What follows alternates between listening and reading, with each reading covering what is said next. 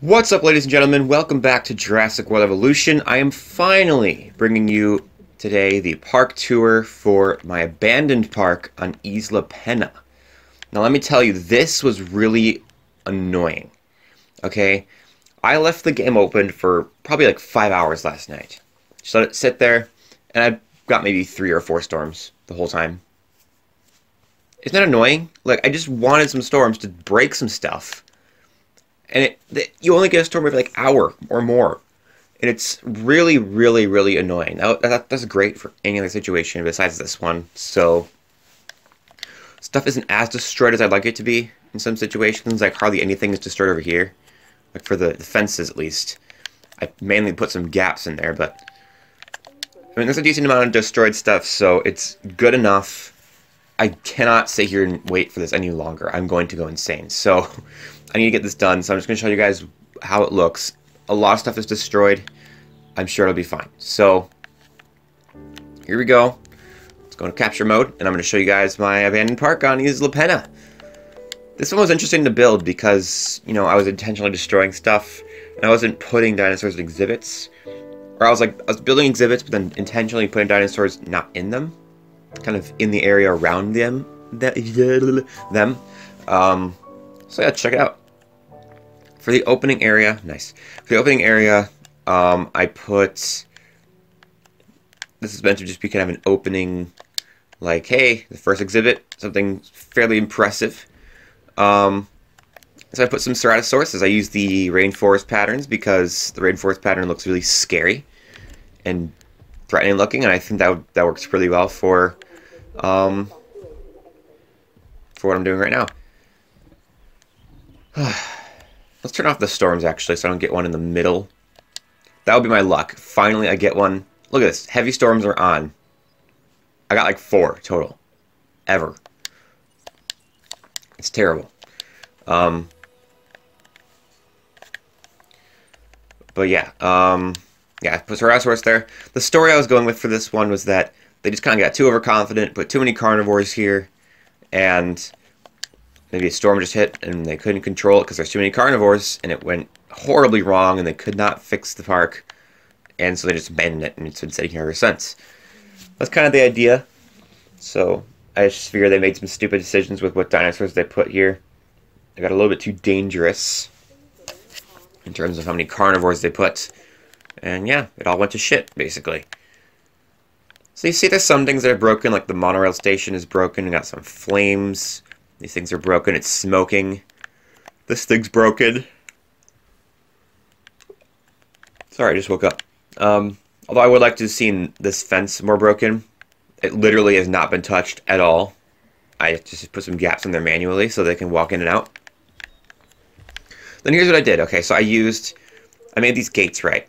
And I had the path go through them and go up to these like thin fences and kind of, you know, kind of looks like they went through them like from a distance. You can like if you don't look too hard, it looks like maybe the path went through there. It's good enough. Um, because obviously I needed to section off this areas so that dinosaurs wouldn't just wander wherever. I needed them to kind of stay in their general areas that I put them in. So this is what happened, and there you go.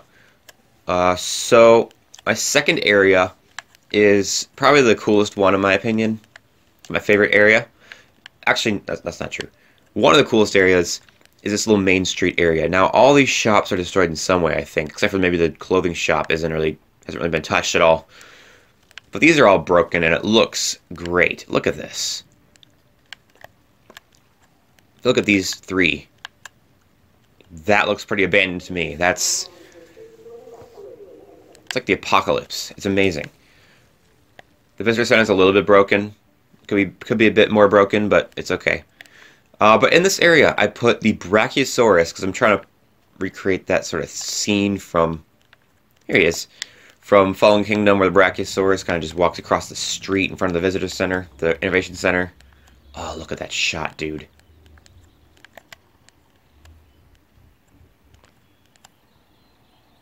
That's a cool shot right there.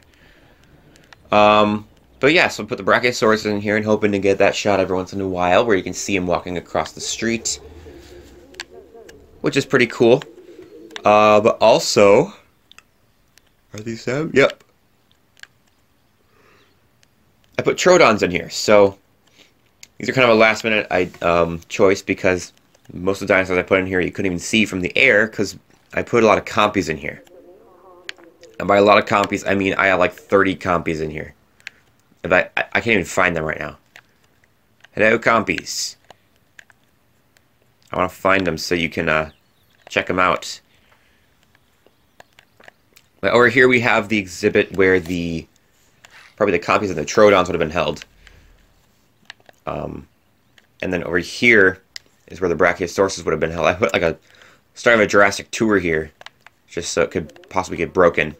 Of course, it was never touched, but get the idea. The idea here is that this exhibit got kind of flooded. So the exhibit, the tour would have gone like around here, but now there's water everywhere, so it's kind of flooded. I saw some compies there, briefly. There you go. It's compies. There's like 30 of them in here, but it's hard to see them because they're so small, which is kind of why I added the Troodons, so you can actually see something in this exhibit like from the air. Look at this. Just look at how destroyed it is.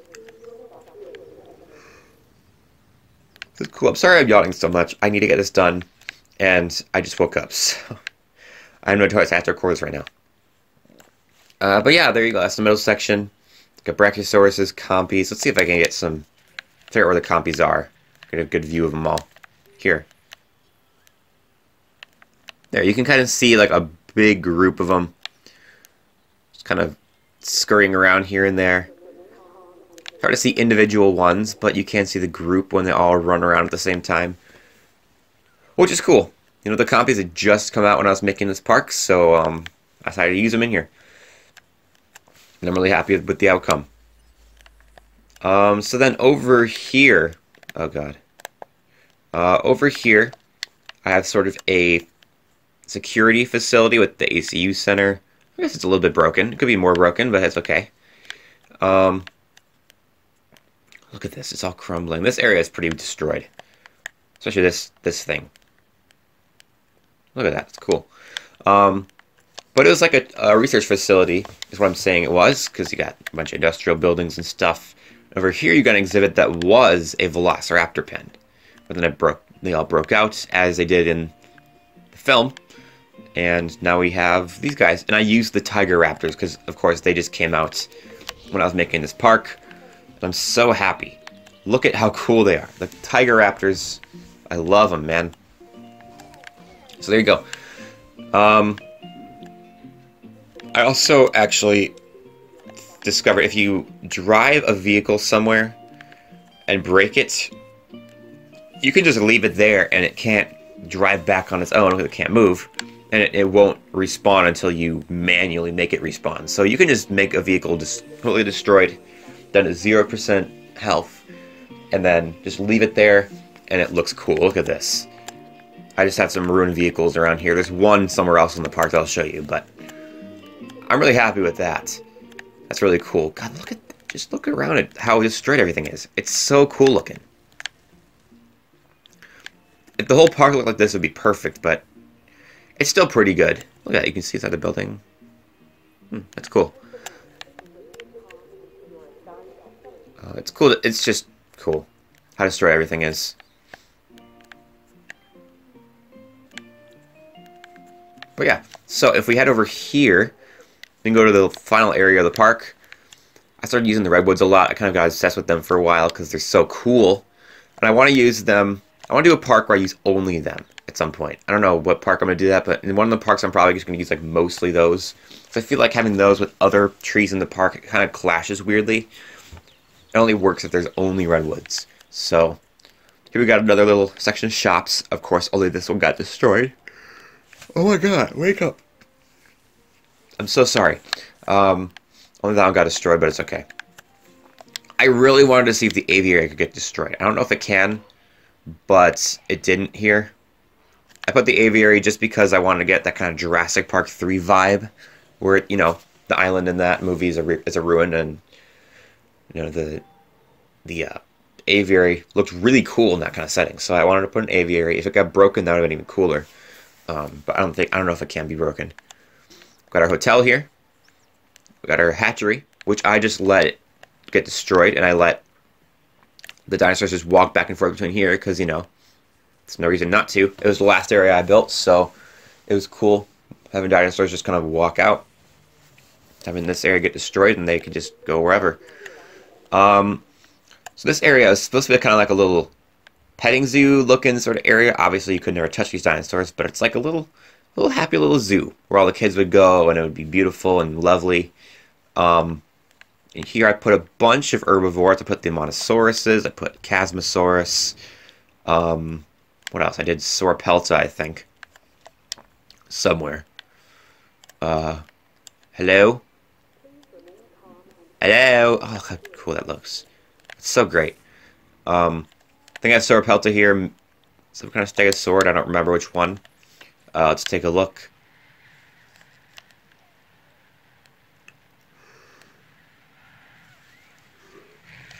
Yeah, there you go. Okay, so we got Sauropelta here.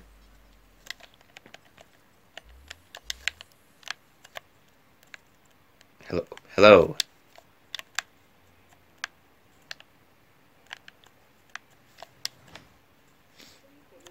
There he is. Found him. Okay. Sauropelta and Stegosaurus is somewhere. Um, hello. There they are. Stegosaurus. So yeah, a lot of herbivores here. They all got broken out. But then the other section here, right, like over here, this is the Tyrannosaurus Rex exhibit. So I have two T-Rexes from the new 1993, 1993, I think it's 2001 and 1997 skins or something like that. Um, I have two T-Rexes roaming around here somewhere. I, I, don't know where they are, but hey, they're they're here somewhere. Let's go find them. I also put the other wrecked Jeep in this exhibit here, which is pretty cool. I kind of get like a Nedry's Jeep sort of feel there, but instead of Dilophosaurus doing it, it was T-Rexes. They kind of just destroyed it, and it got left there. And the poor guy who was driving that is no more. Sorry, buddy. Where are the Rexes? Seriously. They're just there. They're just in the exhibit. There, there they are. Just in plain sight. How can I not find these guys before? Jeez. Hello, Rexy. There's a green one. He's pretty cool. I, I love the new model. The new model's so good. And then, where's the other one? I don't know if I ever actually showed this guy on camera. I want to find him. There he is. Hello, sir. God, he's awesome. I love him. There you go. So, there you go. That's pretty much the entire park. I'm pretty happy with how this turned out. Just looking around, it looks pretty cool. It could be a little bit more destroyed. Some of these buildings down here, like, weren't even touched. You know, the shops over here, the Jurassic Tour up there wasn't even touched at all. But most, a lot of stuff is destroyed. The aviary could have been destroyed. That would have been cool. But it's okay. It looks as good as it's ever going to look. I'm not going to sit here for like a, another day straight waiting for stuff to get destroyed. I have other things to do. I have other things to record. I have more important things to do. So, it's okay. It looks fine. Could look better, but it looks fine, I think. So, there you go. There's my abandoned park on Isla Pena. This tour took a while to get out just because I was wait. I was having to. I had to find time to actually sit here and wait for stuff to get destroyed, and I had to, you know, it was just annoying me getting this place to actually get look ruined. But I think overall in the end it looks pretty good. Um, oh, look at him go. Look at him. Look at him. Zoom across. He's just hanging out. Look at him. It's beautiful. Go shuffling. But yeah, I finally got this done. Next time, you're going to see my, um, actually, you probably have already seen it start, my park build on Isla Tacaño. Oh, that started already? Probably, I think. That's going on. Uh, I'm doing a design park where I try to make it look as pretty as possible. And I've pretty much already finished recording that as of right now. So, but it's a, it's a cool series. Go check that out. Um, I think you'll really enjoy it. It was very difficult. Different and difficult. Different cult for me to... That stupid. For me to build. Because I'm not very creative. So and the path tool is finicky sometimes when you're trying to build really complex things, and I was getting really frustrated. So, hope you guys enjoyed that one. Um, if you enjoyed this one, make sure you leave a like on the video and comment something, and give me some suggestions for future park builds if you want. Um, I kind of already have all my ideas picked out, but if you want to give me ideas for dinosaurs I should use, exhibits I should use, whatever, um, give me some suggestions. I might take them into consideration. Also, subscribe and hit the bell um, so you don't miss any future episodes of Jurassic World Evolution. But other than that, that's all I got for you guys today. I hope you guys are having a fantastic day. See you guys in the next one. Peace.